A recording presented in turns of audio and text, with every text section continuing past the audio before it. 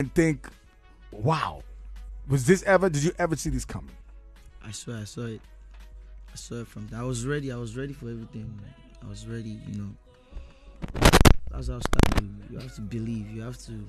You have to know that you are a don, because you know what you have. You know you are bad. You know what I what I feel is that people don't people don't know what I'm capable of.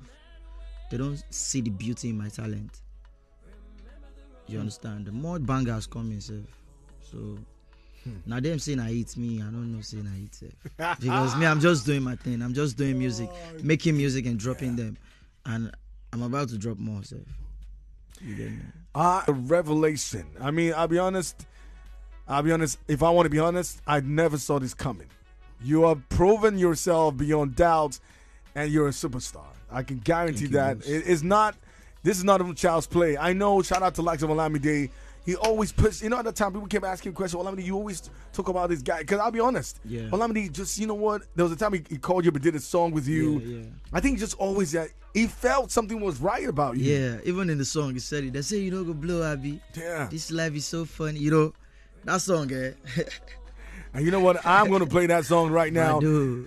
I. Ladies and gentlemen, Shout out Oz to Skiibii the remix. Skiibii's on this one. Uh, or he featured Olamide on it. And one of the guys who ever, ever, I mean, people always asking questions, why? But now you know why. We'll be right back in the show. That's how you're not.